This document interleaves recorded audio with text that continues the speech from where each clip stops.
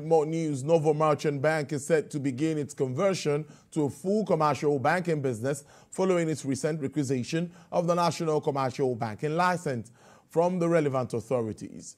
To deliver this new mandate, the bank has appointed Mr. Adebowale Oyedeji as the new Managing Director and Chief Executive Officer, which takes effect from January 2nd, 2022, that's today, and has been approved by the Central Bank of Nigeria. According to the bank, Mr. Oyedeji has several executive positions in foreign and Nigerian environments, giving him the global perspective to lead the financial institution to success.